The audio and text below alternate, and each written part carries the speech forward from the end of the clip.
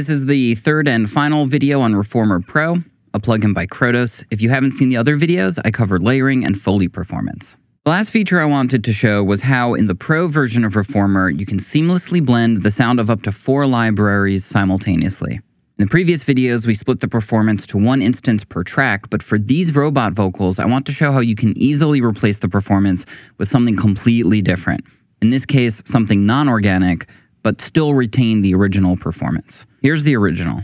Intruder detected. Right, just kind of like a regular monotone robot vocal. But if we want to replace this with something a little bit more synth, I've loaded up four different libraries here. Let me show you what they sound like. So this is the high end for synth.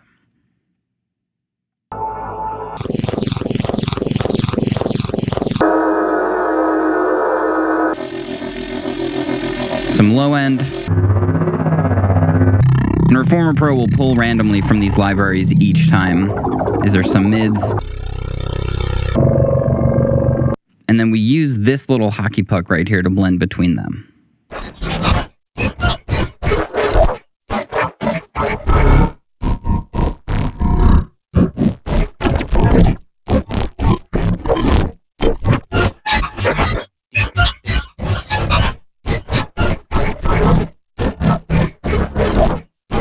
I'm going to land somewhere around here where you can still sort of get that cadence from the voice, but it's completely replaced.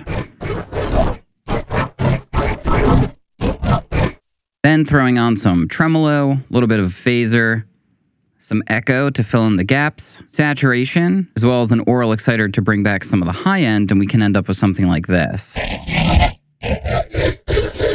Kind of like a nasty, aggressive robot.